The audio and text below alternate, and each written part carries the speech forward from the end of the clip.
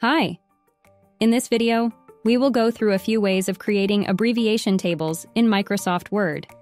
Usually, abbreviation tables appear early in the document, just after the table of contents, or at the end, as an appendix.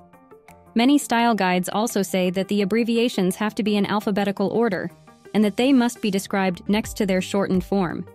So let's see in action how we can create abbreviation tables. The first method is the simplest. You have to go through your work and note each abbreviation down, then put them in a table by hand.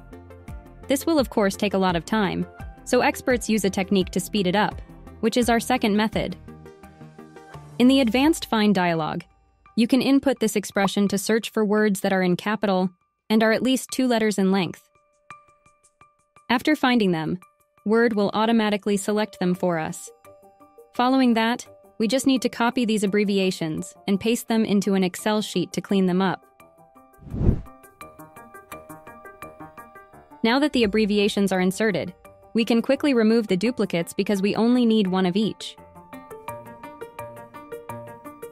Following that, we can sort them in alphabetical order, which is very often required by style guides. We have already collected the descriptions in another sheet and filtered out unwanted abbreviations so we can speed things up for this example. Now we have to copy the fields and paste them in Word.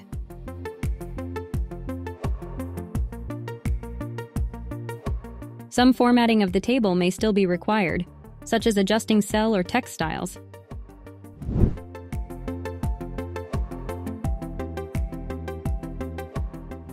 For this next method, we will use the OnStyle add-in. Let's run the Create Abbreviation Table function and let the program collect all the info needed. The base of this function is a large dictionary containing pharma abbreviations, which can be extended or even completely changed. Abbreviations in the table might lack descriptions as they could be not yet stored in the add-in. We can add or remove abbreviations in the preferences. The items you add will get recognized by OnStyle the next time you create an abbreviation table.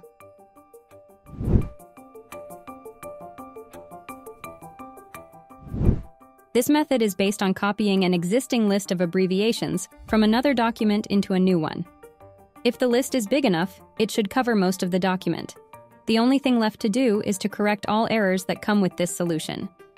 We have to delete the entries that are actually not in the document, and the contrary, Add the abbreviations that are in the document, but not in the table. Let's run a specific validation in OnStyle to see what's wrong with our abbreviation table. It seems like we have two types of errors, but don't worry, these are expected because the table was copied from somewhere else. The first one lists abbreviations that are in the table of abbreviations, but aren't in the document. Obviously, if an abbreviation is not in the document, it also shouldn't be in the table. There are so many of them that it's better to delete them in batch. Now that this issue is fixed, we can focus on the other one. This module tells us that there are two abbreviations in the document that the table doesn't include. As you can see, these abbreviations are scattered through the document. Let's fix them. If you remember, these abbreviations must be in alphabetical order. When we added two new entries, the table order was changed.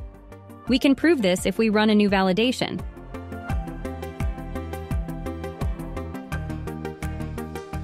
Just as we thought, the table order was changed and an issue is shown.